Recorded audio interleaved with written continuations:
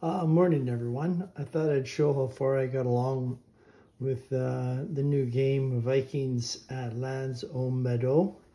And I think I'll just jump right in. I'll explain the game as we go. Uh, the game is driven by cards, and the object of the game is I have 35 Vikings, and I want to keep them alive by the end of this deck, which sort of represents one year. Uh, so let's get started. First card. Vikings set sail from Greenland to Newfoundland, led by Eric the Red, Ghidorah, and Thor Steinsfelder in 1012 with 35 crew. Move ahead to the first white circle. So we're going to move ahead to the first white circle. Set food at 6, weapons 6, supplies at 6, and your tension track is at 0. Uh, because our voyage, we're taking off. Uh, we're going to spend some food, and we're at 1. Uh, card number 2.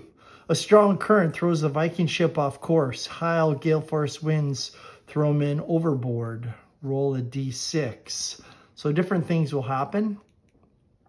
And we roll a d6. I roll a 6. It says Vikings forge onward. Plus 1, minus 1 Viking. So 1 got swept off the ship. And I move ahead 1. And I'm going to roll again for my supplies. We have wood and iron weapons and things on board. See if it lasted during the trip. I roll a one, and if you roll a one, there's no effect. And minus one food for this part of the voyage. Uh, next card. Strong high force winds out in the open Atlantic Ocean. Roll a d6. So I roll a d6, I roll a two. A two is take advantage and raise all sails. Move ahead one. So I keep, as you can see, I keep adjusting the game um, as I go. So I'm going to move ahead one. Again, we'll roll ahead for uh, resources at sea, and it's a five. Five is supply minus one gets washed overboard. So lost one supply, and again, um, I lose one food. Calm seas and a lot of fish. Time to restock supplies or reach land quicker and keep moving on to reach Newfoundland. Again, you roll a d6, see what happens during this part of the voyage. It's a five, no fish, move ahead one. So I don't catch any fish. My food stays stable. I do move ahead one. Uh, next card, Baffin Island. Vikings near Helluland, the land of flat stones, which is present day Baffin Island. Exploring finds them exploring finds them see only miles of flat rock. Again, you roll a d6 and it is a six. Uh, you reach Helluland, minus one food for each space moved. Um, so I'm actually to get thrown off course back to Helluland, minus one food, and also minus one food for uh, the resources at the bottom of the, the trip. Markland. The Vikings landed in Markland, modern day Labrador, used this stay to harvest lumber. So again, we'll see how we do harvesting lumber. It's a three. I'm going to move ahead one. And um, supply is going to go up by two minus one food. So supply goes up by two. Sorry, that would be a six. Now, whenever you reach a zero, um, on food, uh, you lose two Vikings. So right off the bat, I have a couple of people starving from lack of resources because of the trip. Uh, so I've just lost two Vikings right off the get-go. And last part, Vikings land in Vinland, a land named for plentiful grapes. Once you've landed in Vinland, you can start your two choices or two moves for each turn, see choices. So minus one food for each space is moved. So I'm gonna have to move one, two. So that's twice I move down on the food track. So two Vikings are lost, two more Vikings are lost. So my Vikings are really starving as we reach here. It would have been nice if we would have caught that fish when we're in the Atlantic Ocean. Um, and now I get my two moves. So obviously I'm going to uh, use both my dice on fish for food. So for food, you're going to roll. If you roll a 1 to 4, you collect food. 5 is unsuccessful. 6 is one of the Vikings gets killed out searching for food and you go up once on the tension track because you've had a conflict with First Nations. So I need a couple 1 to 4s and I get a 6. Oh, geez. Uh, so I get one food, but tension track goes up by one and I lose another Viking. So I'm now down to 27 Vikings. So I'm not off to a good start and I've only played seven cards. Oh man, this is not good. Um, I've played this game probably about six, seven times. I've won, I've only won once. So uh, it is kind of a tough, tough, tough win. Uh, next card. Now I'm getting to the deck of uh, 35 cards, I believe. Uh, and these are shuffled, so it'll be different each time you play. Um, I was even thinking of having 30 cards to taking five out, but we're just, again, I'm just experimenting. If you have any ideas or suggestions, I'd be more than welcome to hear them. Put them in the comments section. Uh, ways that you think I could improve the game, I, would be more than happy to, to hear and, and implement them. Uh, next, scurvy. The Vikings suffer from scurvy and sickness found during their time in Newfoundland, not knowing the medicinal plants. So I'm going to lose two more Vikings. Uh, for my food supply and raid, um, I think what I'm going to do is try and get two more food. Roll two dice. A three will get me one food. A five will be unsuccessful. Uh, next card battle chart. Conflict breaks out between the Beothuk and the indigenous the indigenous people of the area and the Vikings. Go directly to the battle chart. Um, if you are going to battle the First Nations people, you're better off doing it early. So what you do is you index the amount of crew that you have and the amount of weapons. So I have six weapons, so I'm fully stocked there, and 25 crew. So 25 crew is here and six weapons would be here is nine. Now, probably what I should have done is one of your other options is to build a palisade. So by building a palisade, I would put this here. I would reduce my supply by four, but that would move the number up by one, but I never did. I wasn't thinking very well here. So Anyway, as I said, I'm at six weapons and 25 Vikings, so I need to roll nine or less to survive this all-out battle. So the First Nations have brought their full amount of warriors against my 25 people. Let's see how I do. I need nine or less. Oops. And I roll a nine, so I win the battle. If you win the battle, I gain two weapons, but this isn't going to help me because I already have six. I do lose two in the battle with them. Um, if I would have lost the battle, I would have lost five Vikings and one weapon. So um, I try not to go to war with the, the First Nations people. I think the best strategy for the game is to try and avoid as much as you can. Um, when you do go to the battle chart, uh, the tension gets moved to two. So usually it builds up to six, moves back to two. In this case, we're at one, so it will go up to two because of the war. So um, I'm at 23 Vikings. Next, sell self. Vikings sell south to Connecticut to collect butternuts and grapes. So my food goes up by two, which is good. Uh, my weapons go up. I'm already at six. For my two turns, I am going to build that palisade. So I will build a palisade, which reduce my supply by four. And I think for my second roll, I will try and increase my supply. So I need a one to four and I get it. So my supply goes up to three. Uh, next one, bull is loose. These A lot of these stories, facts on the cards are things that I researched and found out. The Viking, the Vikings bull gets loose and runs amok amongst indigenous people. They flee because they've never seen a bull before. This does raise the tension up by one and reduce one on your food track. Uh, I think for this turn, what I'm going to do, I don't want that tension track to get too high.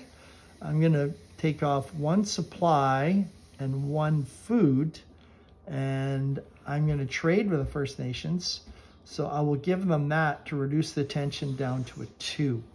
So your options are when you're when you have your two moves, you can collect food, which you'll roll a d6. One to four is successful. You can build your weapons. So two supply would give you one weapon. You can collect supply. You roll a d6, one to four, you're successful, and your supply goes up. You can trade, where you give the First Nations one food, one supply, and you go down on the tension track. When the tension track gets to six, it's a full blown out war against the First Nations. Uh, you can raid, which takes up both your turns. It will increase the tension by two. So you cannot raid if you're on four or five on the tension track, because that would move it to six. So you can't raid and cause a, a full-out war. You do go to the battle track. If you win, you lose two Vikings, but you do gain one weapon and four supply and or food. So it could be four supply, it could be two supply, two food. Uh, if you lose the battle, you lose five Vikings and two weapons. Um, also, when you're collecting food, if you roll a six, you will lose a Viking and plus one tension. So it's as if you're out scavenging for food and you had a conflict with the First Nations. Uh, on supply, if you roll a six and it's unsuccessful, uh, one Viking is sick. So you would put uh, a marker on one and then to, to notice that he's sick and you go down one. And then on one of your turns, you could use two food to revive that Viking or make him healthier. And then your number goes back up on the Viking track. So that's revive. So you'd be using the medicinal medicines in the area to make them uh, better. Uh, the last thing you get to do is build a palisade, which costs four supply, but it does increase one number on the battle chart. So again, if I was to index, if it was 31 Vikings and I had four weapons, I'd roll a 10. Uh, with a palisade, it would be 11. Palisade is a fence that uh, goes around the fort. So the bull is loose. Uh, this is where I'm at so far. Uh, next card, I'll just do a few more just to get an idea of the game. Uh, next one, the Vikings explore the area of Markland, which is Labrador. It was known for their forests. To collect wood and iron to smelt and make into weapons. They did have a forge at Vinland and a carpenter shop. So my weapons go up by two, but I'm already at six. Uh, tension goes down by one because I've left the area. And now I can do two things. I think I'm going to roll for food and I'm going to roll for supply. So food, oh, not good. So if you roll a six for food, um, you lose one Viking and you go up on the tension track. Not what I wanted. Uh, or one for supply, and that does go up. So you don't want to be rolling sixes. Uh, next one, trading. Vikings led by Thorfinn Karlsefni and his wife Gudrid trade their milk and red cloth with the Skraelings for their bison furs and gray squirrel skins. The Skraelings was the name that the Vikings gave to the uh, First Nations in the area. It was known as different interpretations. One is savage, one is wretched. Um, obviously, they didn't get along. So my food goes up by two because I am trading. Supply goes down by one, and tension goes down by one, which is good. I want to keep my tension as low as I can in this game. Uh, my two moves, I think I'm going to roll both on supply and a four and a two. So my supply goes up by two. Um, next one. Peaceful relations. Vikings established peaceful relations with the indigenous people on the northern tip of Newfoundland. Tension goes down by one. Food goes down by one. Uh, that works out great for me. I like to keep my tension very, very low. Um, I think for this turn, I'm going to roll for food. And that goes up by one and I think I'll roll for food again. And it's a five I don't get it. So my food stays where it is. Uh, next card Vikings called indigenous people in Newfoundland Skraelings thought to mean something like savages or the wretched. Tension goes up by two my weapons go down by one um, I think what I'll do for this turn is I will trade so I'll give them one food one supply to lower that tension and for the second move, I think I will go fish. Try and get some food, and I do, and I'm back up to four. Uh, next one, violent outbreaks. Violent outbreaks between the locals and the Vikings happen after some initial peaceful trading. So tension goes up by one, my weapons go down by one, and I lose two Vikings in the conflict. Um, I think what I'm going to do is trade supply and food, lower that tension, and I will roll for supply. Roll a three, so it goes up by one. Uh, next card. So I'm sitting at 20 Vikings so far. Not bad after the start that I had, but I know there's some bad cards coming. Uh, violent outbreaks between the locals and the Vikings after some initial peaceful trading. Tension goes up by two. Weapons go down by one, and I lose three Vikings. Oh, geez, so I'm down to 17. Um, I think what I'm going to do is I'm going to use two supply to build up my weapons, put them at four, and I think I'm going to try and build supply. And I need a good roll in this one, one to four, and I get it. So my supply goes back up to two. Uh, next one, attack. Indigenous people take offense to the bull running loose at them and plan an attack on the Viking village. So this actually happened in real life. Uh, when the bull got loose, it spooked the indigenous. They all ran and they're angry and they came back the next day in full attack and went after the Vikings. The Vikings did hold them off, but um, yeah, not a good thing. So my weapons go down by two. Tension goes up by one. And I lose three Vikings in this battle with them. Um, oh, geez, things are not looking good. Things got bad quick. I think I'm going to move my supply up by one. Oh, six, not good. So if you roll a six, one of my Vikings gets sick. So I am going to put a marker here. So one of my Vikings is sick. This goes down by one. Um, I can spend two food on my second turn to get them better. Um, but I don't like my food being near one because if I lose a food, I lose two Vikings. Um, I think what I'll do for my second turn is trying to improve my supply. And I do, I move that up to a three. Uh, next card, Vikings led by Thorfinn Karl Sefni and his wife Gudrid explore the area to hunt and collect grapes from New Brunswick. So food goes up by one. Boy, that came in handy. Supply goes up by one. My weapons go up by one. I think what I'll do is, first of all, trade. So lower my fish, my supply to lower the tension. And I think I'll trade twice. Lower that to get the tension back down to two. So it's the Vikings leave the fort. Uh, it's always a good thing. Uh, next, stealing weapons. Vikings catch an indigenous man trying to steal weapons, but he is caught and they kill him. This actually happened in real life. My weapons go up by one, but tensions go up by two. Tension's now at four. Um, I think I'm going to roll once for food and once for supply. We'll say the white markings is food. Two five, so I don't get either one. Oh, geez, this hurt down the road. Uh, next one, Freydis. Freydis, the half-sister of Leif Erikson, who was pregnant at the time, did not retreat with her fellow Vikings when attacked. This was the, the bull happening. She stops, grabs a sword, and strikes her bare breast with the sword. And that actually scared the indigenous people. They never kept coming after them after the Vikings were retreating. Uh, they left when they're retreated home. Uh, so the tension goes up by two, which puts me at six on the Viking track. So that comes first. We go right to the battle chart. I have 13 Vikings and four weapons. So 13 Vikings and four weapons is a five, but I do have a palisade, which makes it a six. So I need to roll a six or less, or I could be in big trouble here. I roll of five, so I ended up winning this battle. This is fantastic. I only lose two Vikings, and I gain two weapons, so that's great.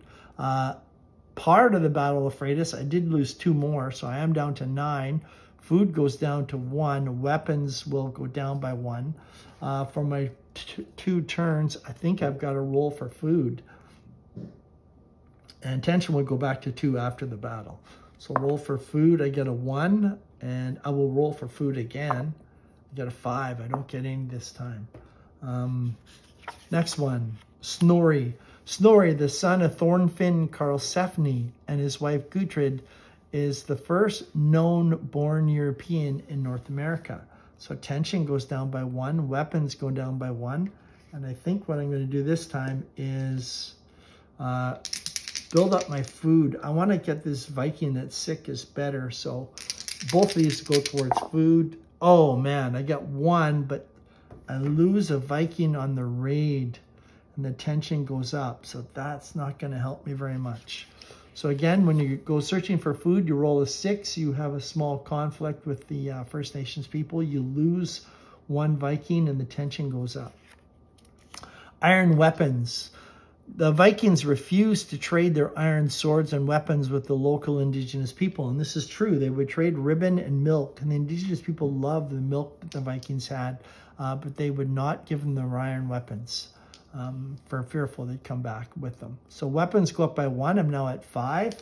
Uh, I think what I'm going to do is roll one for food. And I do get one. I'll use that second move to revive my sick Viking.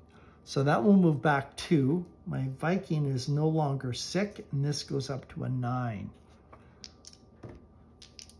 Uh, next one. Site discovered. In 1960, a Norwegian couple, Anne Stine and Helge Ingstad, discovered the site at L'Anse Aux Meadow. Uh, no effect. So it's just an informational thing, give you a bit of a break in the game. Um, I think what I'm going to do is roll for food and supply. White markings will be food, so they're both go up by one, which is good. And uh, I think I'm just going to stop the video right there. I just wanted to give you a quick look at what the game would look like. So right now, as it stands, I have, geez, probably maybe a third of the deck left to go. So it doesn't look very good for me. I'm not sure if I'm going to make it. Uh, I have nine Vikings left. I do have a Palisade. None of my Vikings are sick. I'm set pretty good on the tracks right now. Uh, what I probably would do in the next few turns is try and lower this tension to zero. I really don't want to go to the battle chart anymore with them, especially with only nine Vikings left. Uh, even with six six weapons, my chance of surviving is a six plus my Palisade, which is a seven. But uh, this is uh, Vikings, of Meadow, sort of a siege game. Uh, not quite though, sort of the opposite. Rather than attacking, you're defending. Um, I'm trying to get through the winter with uh, my at least one Viking when I'm done. If you have any suggestions or comments, please let me know. Uh, once I get to the point where I think it's it's good, I'll stick it as a PDF. Right now, it's still sort of in development. Uh, I still want to make it a little bit better. Uh, but yeah, feel free to send me your comments. This is Vikings at L'Anse Aux Meadow.